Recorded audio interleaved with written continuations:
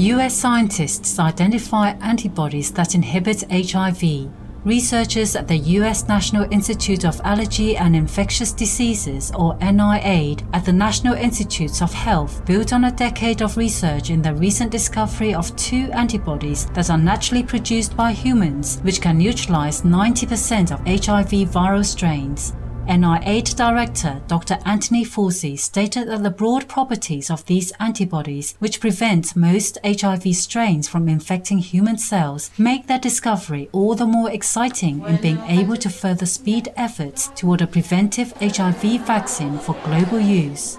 Bravo and our sincere gratitude, Dr. Fauci, fellow National Institute of Allergy and Infectious Diseases scientists, and all others for your research efforts that have culminated in this valued find.